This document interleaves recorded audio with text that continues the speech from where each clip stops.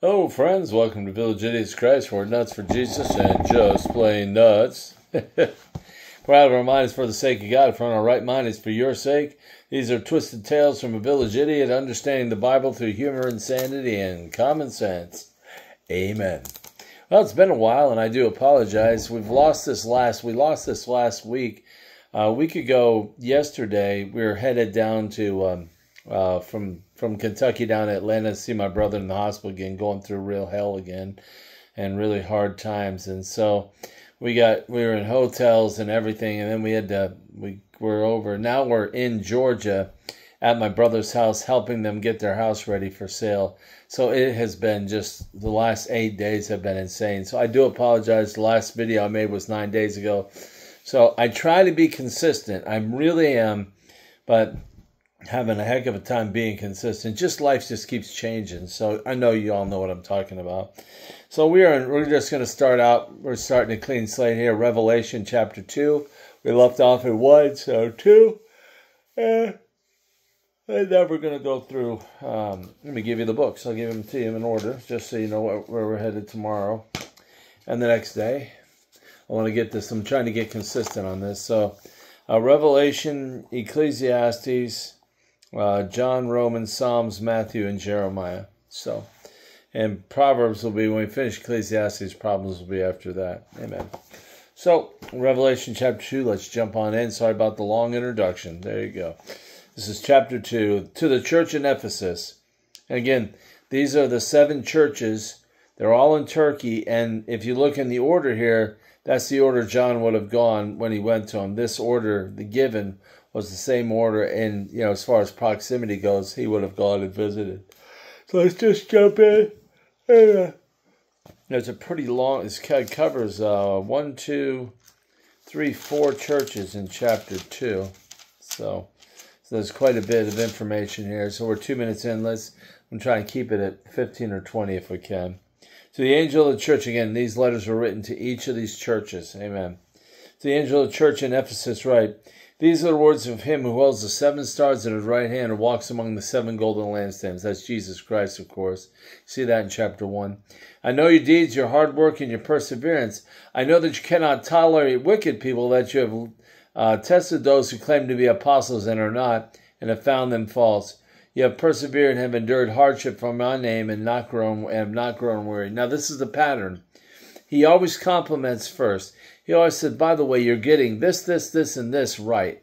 And that's what he was saying here. He said, but then he goes into, uh, we'll call it constructive criticism or correction. Okay. Yet I hold this against you. Verse 4. You have forsaken your first love. Consider the heights from which you have fallen. Repent and do the things you did at first. If you do not repent, I will come to you, and you remove your lampstand from its place. But you have this in your favor. You hate the practice of the Nicolaitans, which I also hate. Let's stop there for a second. So again, they had fallen out of love with Jesus. They had lost that first love, that romantic honeymoon kind of love for Christ, which we're supposed to have and supposed to maintain if possible But they had lost that first love for Christ. And uh, he said, and talks about how far they had fallen. Love, a love relationship with your Creator is all important. A love relationship with with each other is all important, but a love relationship with your Creator God is more important. Love the Lord your God with all your heart, soul, mind, and strength. Love your neighbor as you as you as you as you love yourself. And so they they were falling out of love with Jesus. Amen. Um, uh, let's continue on verse 7.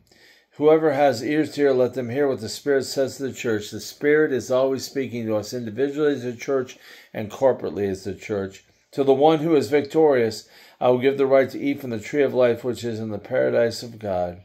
Amen. Amen. Amen. Amen. Isn't that a good scripture? Amen. You want to be victorious, don't you? I know I do. Amen. Uh, let's continue on here. Uh, the, now we have to the next church. Uh, to the church, um, uh, to the church in Smyrna, to the angel of the church in Smyrna, write: These are the words of him who is the first and the last, who died and came to life again. I know your afflictions and your poverty, yet you are rich. I know about the slander of those who say they are Jews and are not, but are a synagogue of Satan. Do not be afraid of what you're about to suffer. I tell you, the devil will put some of you in prison to test you, and you will suffer persecution for ten days. Be faithful even to the point of death, and I will give you the, the crown of the I will give you the crown of life. Whoever has ears to hear, let him hear what the Spirit is saying to the churches. The one who is victorious will not be hurt at all by the second death. So, no criticism at all None whatsoever. Only praise he gives this church. And I won't get into all that. If you want to read that, that's verses uh, 8, uh, 8 through uh, 8 through 11. And uh, but it's encouraging because they they needed no correction, none. So he didn't correct them. Amen. Uh, to the church in Pergamum, write. To the angel of the church in Pergamum, write. These are the words of him has sharp uh, double-edged sword I know where you live, where Satan has his throne, yet you remain true to my name. You did not renounce your faith in me, even in the days of Antipas, my faithful witness who was put to death in your city. Uh, your city. Amen. Where Satan lives. Nevertheless, I have a few things against you. Uh, these, there are those among you who hold to the teaching of Balaam, who taught Balak to entice the Israelites um, uh, to sin, so they ate food sacrificed idols and committed sexual morality. Likewise, you have those who hold to the teaching of the Nicolaitans. Repent, therefore, otherwise I will soon come to you and will fight against them with the sword in my mouth. Let's stop there for a second.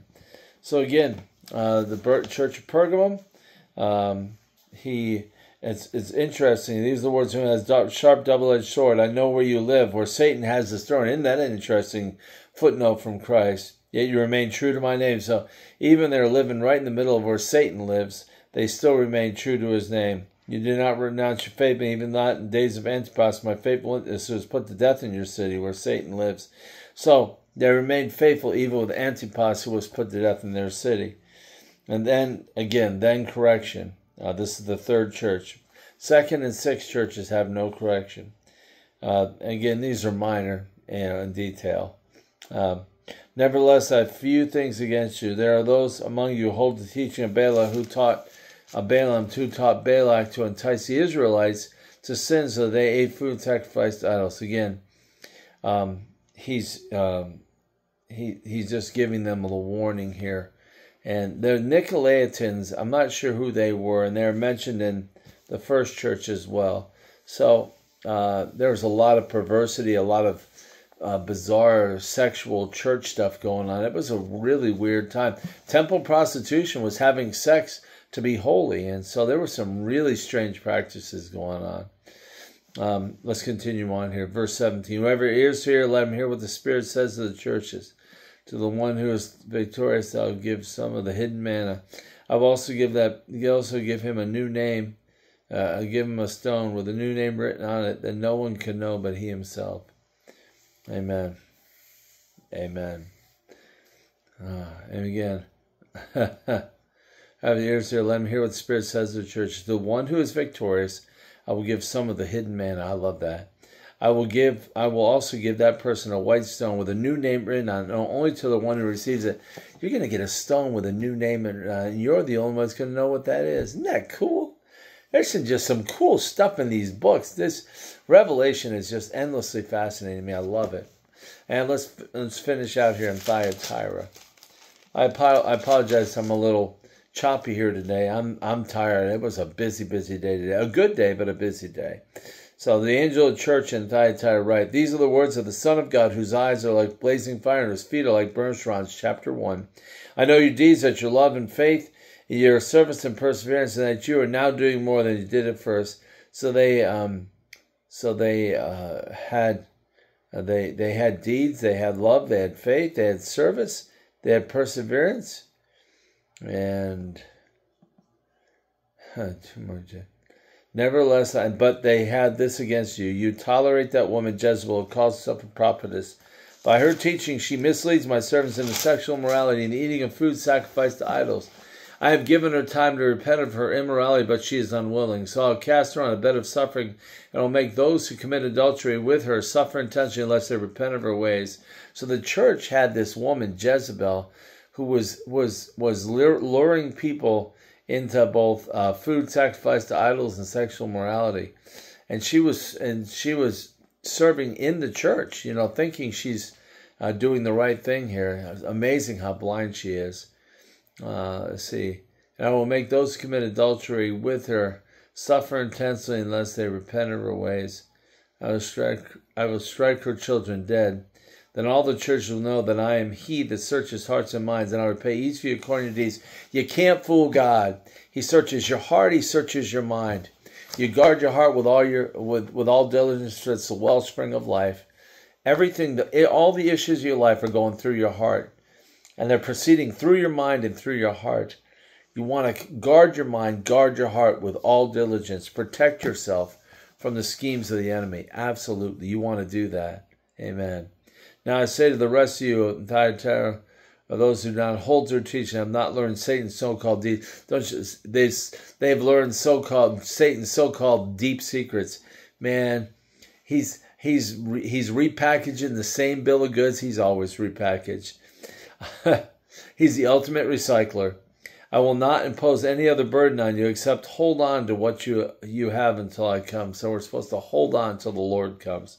To the one who is victorious and does my will, and now will give authority over the nations. Pretty cool, amen.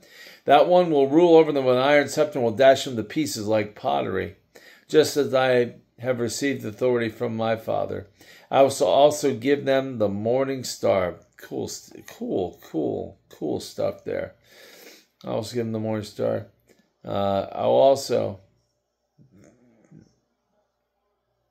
let's see. Um, the one is victorious and does my will to the end. I will give authority over the nations. That will they will they will rule them with an iron scepter. Will dash them to pieces like pottery. Just as I've received authority from my Father. I also I also I will also give them the morning star, whatever that means. But if Jesus hands you the morning star, whatever it is, you take it. Amen. Whoever has ears hear, let him hear what the Spirit is saying to the churches. Praise the Lord. Again, sorry about the choppiness there. I am tired.